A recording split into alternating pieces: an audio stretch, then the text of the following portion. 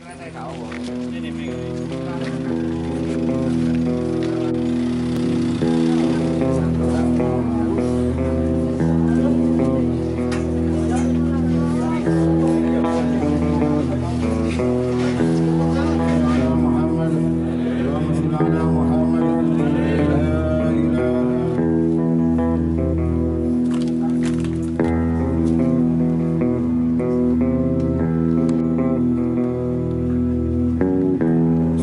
Kondisi pasien di ICU itu mulai dari awal masuk hingga akhir seperti almarhum adik Revanu ini memang tidak sadar kalau boleh dikatakan koma.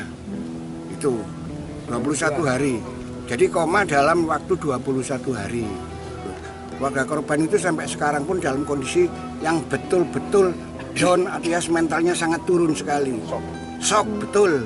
Sehingga saya harus istilahnya seperti bapaknya almarhum Revanu ini sebenarnya saya seperti ngomong bayi. Gitu setiap hari ngelamun pindah ke sana kemarin itu enggak deunya kok semua semua dari orang tua keluarga korban. Isinya hanya menangis setiap pagi